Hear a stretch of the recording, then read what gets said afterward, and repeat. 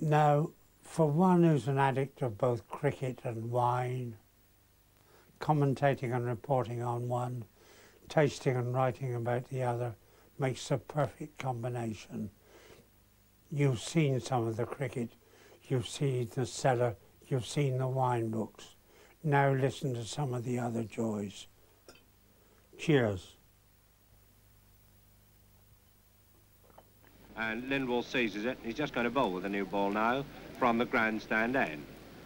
Goes through the usual Lindwall bout of physical jerks.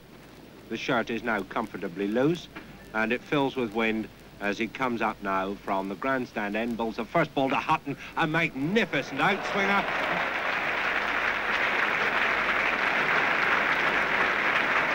Hit for four.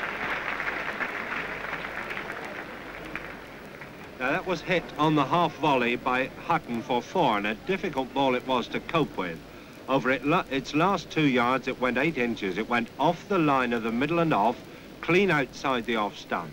And Hutton, right over it, hit it firmly past the somnolent Toshack at point for four runs. And now here comes Lindwall again to Hutton. And that was a magnificent in-swinger that bowled him off his pad.